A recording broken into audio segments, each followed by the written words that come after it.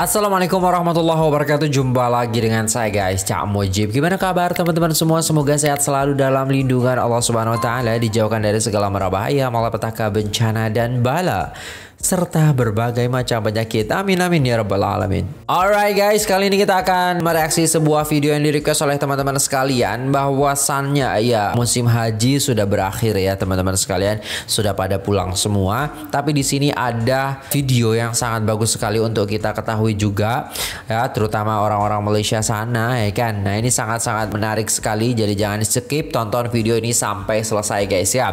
Nah, di sini adalah suasana di Arafah, Maktab 8 untuk jemaah haji Malaysia.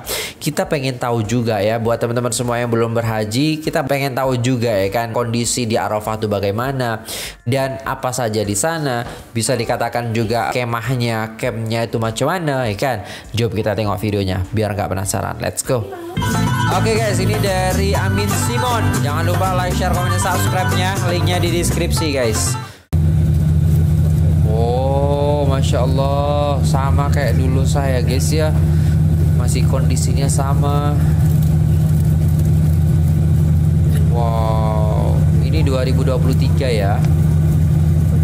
Ada kayak gini. Ini saya baru tahu juga yang biru-biru ini tapi untuk tenda-tenda itu masih udah lama banget.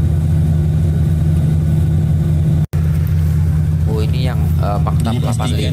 Bang-bang. Kita yang tertinggal di atas eh masyhur sesuatu tempat. Masyhur orang itu. Ha, dengan banyaknya nama. Maka kita kena tahu nama-nama lain kepada kota Makkah Al-Mukarramah. Bakka, Baladun Amin Ummul Qura oh, Andalusia travel ini masyhur lah. Jadi kalau kita punya banyak nama pergi tempat ini orang panggil nama lain. Mana kita ni claim lah. Tuan-tuan para tetamu Allah buyuh rahmat sekalian Oh ini tuan-tuan, ini cowok aja ya berarti ya guys ya? Maka saya diberi ruang pada petang berbahagia Coba kita tengok. Ha? Yang mana sedang juga nak bercakap dengan guru. Oh yang iya guys cowok semua. Dari hampir 13 tahun. Saya beri masa dia semua dengan tujuan yang sama. Supaya apa? Dapat berhukum Okey, di kota Mekah ini mereka tinggalkan apa kerja mereka dan hadir bersama-sama pada hari ini berhukum. Allah kata apa? Allah berbangga-bangga. Allah berbangga-bangga kepada siapa? Kepada para malaikat. Okey. Allah bangga dengan para malaikat hadirnya kita di bumi Arafah ini untuk memohon ampun dan makfirah. Sekalipun dosa kita sebanyak pasir di bumi Arafah. Nak cerita banyak mana pun dosa, Allah kata Allah akan ampunkan dosa kita. Betul. Maka tuan-tuan ayat. Kalau kita sedang hangat bercerita, kita tengok rumah kekasih hati tak dapat, tengok dia, tengok punggung dia pun dah bahagia. Apatah lagi kalau kita dapat bertemu dengan baginda Nabi sallallahu alaihi wasallam. Dan kita ingat semula pesan baginda Nabi sallallahu Alhamdulillah sekarang kami berada di Arafah okay. iaitu berada di luar kemah. Setelah beberapa program kami lalui daripada datang tadi sehinggalah sekarang ni jam menunjukkan pukul 6 cukup. Inilah untuk waktu kami berehat. Kerana selepas maghrib ini akan diadakan lagi uh, program yang seterusnya. Jamaah-jamaah daripada Andalusia ni sedang berehat di luar uh, kemah di sini Ini situasinya begini. Agak redup sedikit banding dengan semasa kami datang tengah hari tadi. Ini ialah kemah lelaki Andalusia. Ha, oh. saya berjalan di depan. Oke, saya pengalaman saya dulu guys kalau haji itu ya biasanya di tenda itu ada uh, ini ada apa namanya itu pembatasnya gitu kalau dulu guys. Jadi cewek cowok gitu guys ya. Tapi ternyata sekarang itu beda ya. Sekarang ini lelaki lelaki perempuan perempuan mungkin seperti itu ya.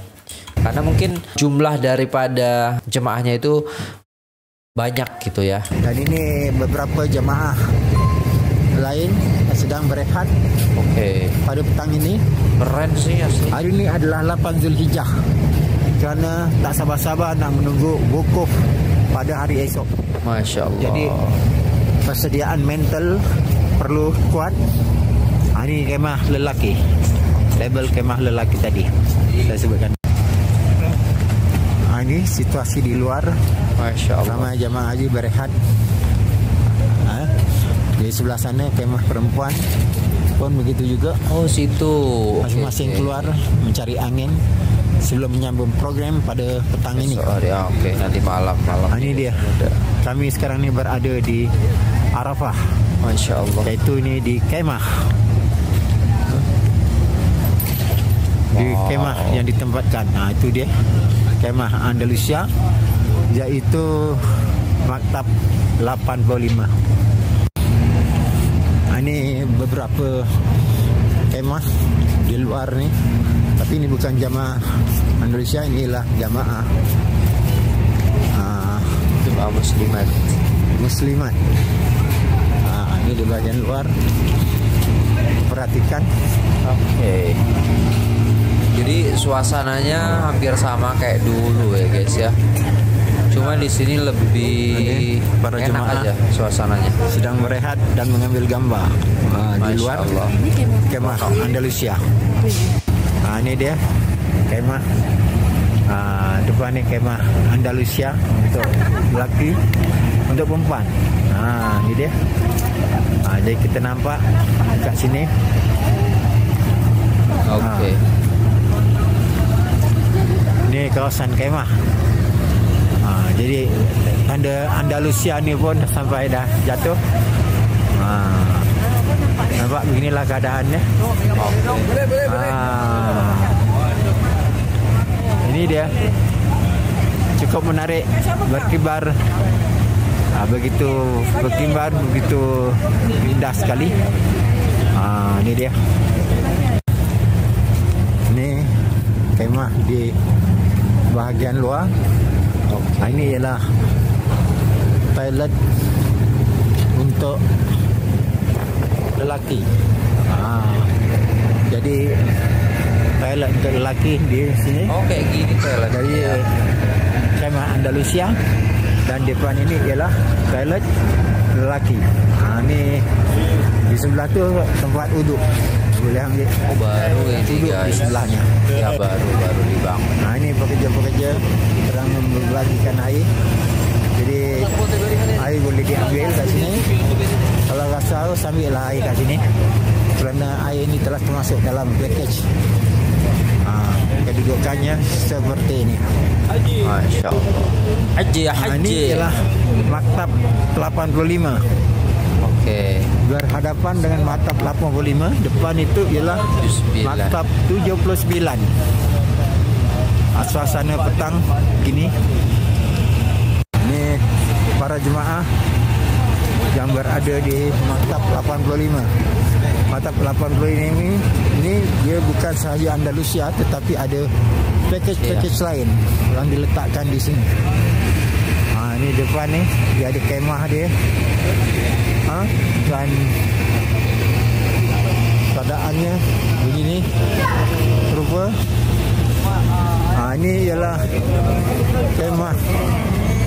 lelaki tapi ini bukan Andalusia ha, ini selamat datang ha, Malaysia Oh Malaysia juga. ha, ini dia Oke. air disediakan ha, maknanya untuk air ini tak ada masalah tinggal ambil Enak je. guys. Sekarang lebih tersistem terkonsep seperti itu ya untuk air dan juga istilahnya kemahnya gitu guys ya.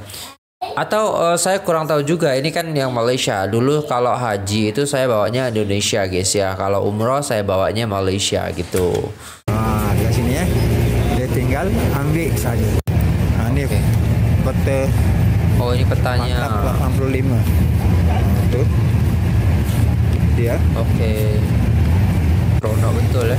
ha, Beginilah suasana Di kemah Padang Arafah Khususnya di Maktab 85 ha, Jadi untuk Alright. pengetahuan kalian Maktab 80 ini 85 ini ha, Daripada Package Tabung Haji Dan juga Package Andalusia Dan ada lagi Package-package yang lain Baik. Disatukan di bawah Maktab 85 Alright guys, sudah selesai videonya dan itulah tadi ya guys ya suasana di Arafah. Dan di situ ada tenda ya tendanya itu khusus Andalusia dan itu jemaah laki-laki guys ya. Pengalaman saya dulu dengan sekarang ketika melihatnya itu berbeda ya. Kalau dulu itu cewek cowok gabung tapi ada uh, pembatasnya seperti itu. Itu dulu ya. Tapi sekarang lebih terkonsep lagi apalagi dikenal bahwasanya Andalusia ini adalah travel yang cukup-cukup besar seperti itu. Ketika kita umroh saja itu kalau Andalusia itu memang jemaahnya sangat banyak sekali sekali ya dari Malaysia. Oke, dan ini sangat menarik sekali guys ya. Aktivitas yang dilakukan semuanya jadi enak gitu kalau kita tidak campur seperti itu. Mungkin sekarang di apa namanya ya, maktab-maktab Indonesia juga mungkin seperti itu, diberlakukan hal yang sama yaitu laki-laki, laki-laki, perempuan dan perempuan. Ini sangat bagus sekali guys ya konsep yang diterapkan oleh Arab Saudi itu sendiri. Keren, asli keren banget. Oke, banyak di sini komentar-komentarnya. Semoga kita semua ya dipanggil oleh Allah Subhanahu wa taala untuk berangkat ibadah haji. Amin amin ya rabbal alamin ya. Ada seorang ustadz yang mengatakan kepada saya ya, apa cara agar supaya kita itu bisa dipanggil oleh Allah Subhanahu wa taala? Maka perbanyaklah mengucapkan labbaik Allahumma labbaik labbaik la syarika lak labbaik innal hamda wan ni'mata lak wal mulka la syarika lak. Ya Allah guys ingat ya bahwa jemaah umrah itu. Ketika dari Madinah ke Mekah daripada Jeddah langsung umrah juga ada gitu kan dan masya Allah itu sangat-sangat seronok sekali guys labbaik Allahumma labbaik labbaik la syarika lak labbaik innal hamda wan ni'mata lak wal mulka la syarika lak Masya Allah Seronok guys ya. Semoga kita bisa ke sana lagi bersama keluarga kita semua ya guys ya. Keren. Semoga Allah subhanahu wa ta'ala memberikan kemampuan kepada kita Untuk melaksanakan ibadah haji. Ibadah haji ini tidak serta-merta kita punya harta saja, tapi harus punya keyakinan yang kuat ya. Kecintaan kita kepada Allah Subhanahu wa taala, kecintaan kita kepada baginda Nabi Muhammad sallallahu alaihi wasallam, kerinduan kita untuk menuju Mekah dan Madinah. Jika sudah ada ya kecintaan kita yang kuat, keinginan kita yang kuat, maka insya Allah Allah Subhanahu Wa Taala mengabulkan. Dengan apa? Dengan berusaha pastinya ya. Mulai daripada sekarang nabung nabung nabung untuk ibadah haji. Niatkan saja. Tapi apabila kita istilahnya sudah menabung lalu belum sampai ke Mekah Al Mukarramah lalu kita meninggal maka pahalanya dihitung sama katanya. Masya Allah. Oke itu saja video kali ini. Terima kasih. Sampai jumpa di video selanjutnya. Apabila ada salah kata mohon dimaafkan. Wassalamualaikum warahmatullahi wabarakatuh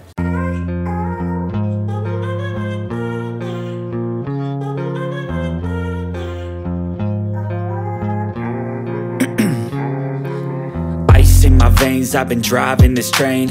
Years in this lane There's no stopping this flame. Cause I came to the game And I changed it to play. How I like rearrange